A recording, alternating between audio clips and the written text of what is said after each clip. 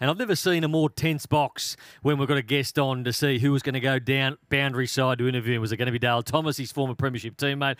Was it going to be Jay Clark, who might have been charged with stalking Scotty Pendlebury at some stage? But uh, our man Daisy said, I am going to do it. I won a premiership with him. I should have been the Norm Smith medalist, and he's with Pendles now. Yeah, I certainly am, gents, down here with the 367 gamer, Scotty Pendlebury. Uh, great to be alongside you. Are you happy that Jay Z did just stick out and stay 150 metres away from you like he has through that court order? Yeah, it's, the restraining order allows that, so I'm uh, nice and happy. But yeah, it's great to see you, mate, and um, yeah, very excited to be here today for this game and um, Steele's 300th and, and Coxie's 100th. Hey, Pendles, uh, how's the mood at the footy club? Obviously, it's going really nicely. And what about yourself, just not being captain this year? Has it been a bit different for you this season?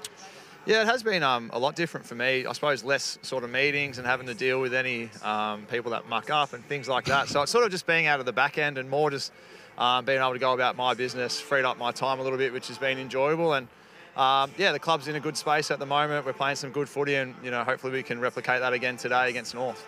How's the eyeball management, uh, Scotty? So can you tell us you got your eyeball squished and then you missed a game. You had stitches. I'm not sure was it in your eyeball or in your sort of uh, eye area.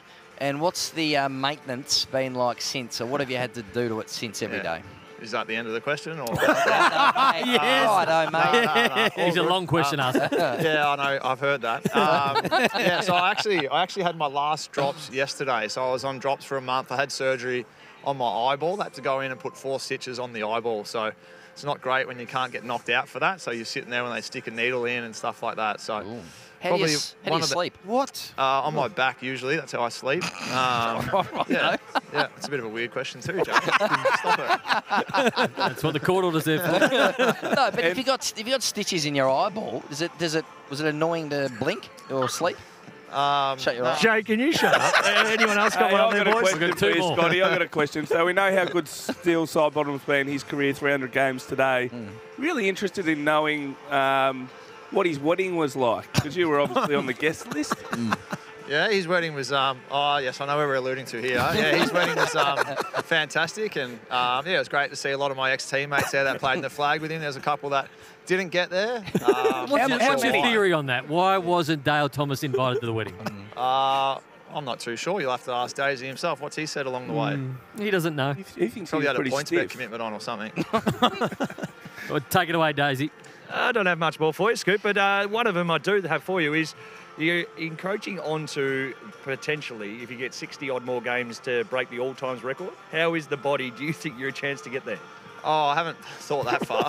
um, but yeah, my body's pulling up really well. I've, probably 18 was the hardest year I've had um, with my body. Just my back was no good and thought it might have been curtains. But um, yeah, I've been able to manage that really well the last few years. And I feel like I'm contributing to a side that's um, playing good football. So while I'm still doing that, I'd like to keep going. You've had a couple of coaches along the journey. Talk to us about Fly and just the differences he brings from a Michael Malthouse and a Nathan Buckley and just the environment you've got down there at the moment. Yeah, it's a lot of fun. I suppose I've learnt something from Mick, Bucks, um, and then Fly, and it's been incredible over three stages of my career to, to have such great coaches. And yeah, he sort of takes the, um, I don't know, he just takes the Mickey a lot and has a lot of fun. And uh, you know, everyone sort of looks forward to the, the 205 team meeting we have today because we don't know what's coming. And you know, there's birthday cakes, there's party poppers. It's just all sorts of random stuff can happen that no one has an idea about. So it's been a lot of fun, and um, I think he's got the group in a really good spot, and we're playing really good footy. Yeah, enough we- about you, Scott. Now, what about us? You're an avid fan of the Sunday Rub. You've been hearing about the initiatives we've had with the Sunday Supper and Steve Johnson last week uh, confused your assistant coach there for a Carlton assistant coach. Do you feel as if, you know, you listen a lot, are we're off the rails? Feel like we've bounced back since losing Ross? Just give us some feedback on how we're travelling. Oh, it's a very funny program. Coming up here, I said I was doing Triple M, and Darcy Cameron sort of sat back in his seat because I seen what he did a few weeks ago when he was hmm. talking about Isaac Quaynor's rig, and then Scotty Selwood said something about Steve Johnson asking me about Carlton players, and he's the coach of Collingwood. So I think you are off the rails a bit, but that's why everyone likes listening to you. So I'm enjoying that. Who had the Sunday supper today? Joey. Don't talk Joey. about it, Scotty. So, it was, Scotty, we had Sunday supper, Yeah. 25 dumplings between nine meals. Yeah, rash. It's like entree. Sunday Maybe he's entree. trying to say something to you all that you. well, well, we, we've got that feedback, but we're also very hungry boys, so Mm. that's piss poor, isn't it? Hey, Pendles, the other thing for your prep, did you get to see the end of the basketball on a different note? Did you see what happened between Yeah. Boston and Miami? I sat in the car until it finished because you're not allowed your phones once you get in here. So I sat in the car. That was unbelievable, wasn't it? Amazing finish. Um, and then now, surely Boston have to win now in seven. So They will now, won't I, they? I really hope so. But what an unbelievable um, game, and um, yeah, game seven. Nothing better than, than game seven back on your home deck for Boston. You- And you played a bit of basketball too, didn't you? I did, Stevie. Thanks for that. That's, Steve. that's almost some of your best work. Hey, Harry Taylor likes his cognac. Yeah, hey Scotty, is um now Daisy, your team, your former premiership teammate, there kicked five yesterday. Has he told you about how he kicked five yesterday?